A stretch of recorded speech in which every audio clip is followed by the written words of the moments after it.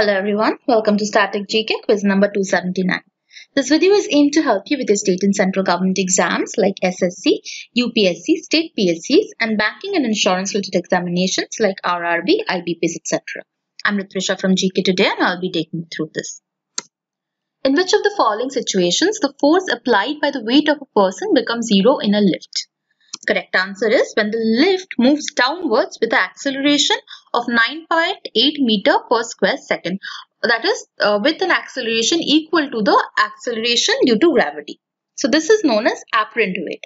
In physics, apparent weight is a property of the objects that corresponds to how heavy an object is. The apparent weight of an object will differ from the weight of an object whenever the force of gravity acting on the object is not balanced by an equal but opposite normal force. So this is why this happens in an elevator because the elevator is also moving towards the direction of the uh, force of gravity uh, which is why uh, the weight of the person inside the elevator kind of cancel it, cancels it out and becomes zero. A person who is pulling a bucket filled with water falls behind with a sudden break of the ropes. Which of the following laws of Newton come into action? Correct answer is third law. So Newton's third law states that for every action there is an equal and opposite reaction. So what happens is since the person was pulling this uh, rope, it uh, the person was exerting a certain amount of amount of force on the rope. Now the rope in exchange was actually uh, exerting the same amount of force on the person. The moment that uh, force breaks, the rope breaks, that force stops. So the person is now left pulling at nothing. So uh, he falls behind. So the statement means that in every interaction, there is a pair of forces acting on two interacting objects. On which of the following inertia of an object depends? Inertia depends on mass. So inertia is the resistance of any physical object to any change in its velocity. This includes changes to the object's speed or direction of motion. So the more the mass of the object, the, the more difficult it is to uh, stop it when it's moving or make it move when it's at rest. So inertia is directly proportional to the mass of the object.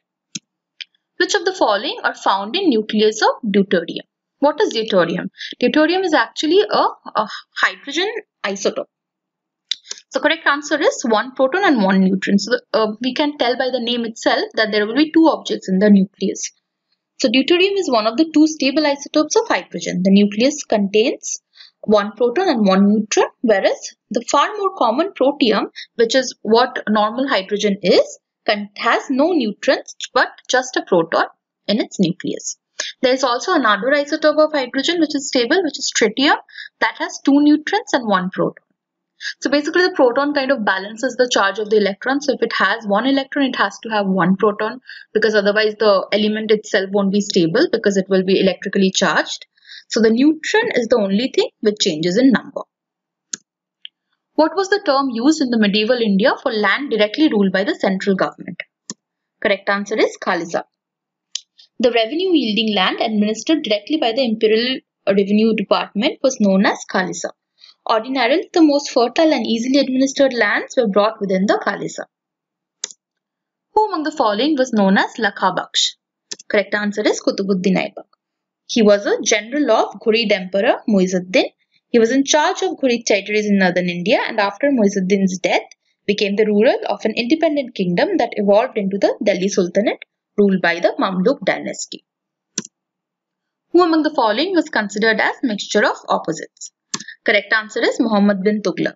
So uh, no, ruler, uh, no ruler in medieval India has earned so much controversy regarding his character and policies as Muhammad bin Tughlaq uh, he is called mixture of opposites because he took quick decisions which in some cases turn out to be wrong and some of his plans looked so strange that they almost ruined the empire.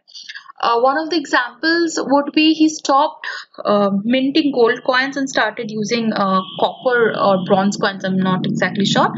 Um, but uh, so the at that point of time people were used to valuing gold. So if we suddenly change the component of the coin people won't value it anymore. So these kind of decisions kind of earned him the name of mixture of opposites. Rihla was a work of which of the following? Correct answer is Ibn Battuta. So Rihla refers to both a journey and the written account of that journey or travelogue. The classical Rihla in medieval Arabic travel literature uh, are those written by Ibn Battuta and Ibn Jubayr. Includes a description of the personalities, places, governments, customs, and curiosities experienced by these travelers, usually within the boundaries of the Muslim world. Which among the following is not a work of Amir Khusrau? Correct answer is Tabaqat-e-Nasiri. So this is actually named after Sultan Nasiruddin and is an elaborate history of the Islamic world written in Persian by Minhaj Siraj Juzjani and completed in 1260 AD. That part of land granted by the Sultan to military chiefs for maintenance of a given number of troopers was called Ikta. So Ikta system was first introduced by Iltutmish in the Delhi Sultanate. In this system, land was granted to Turkish nobles in lieu of salary.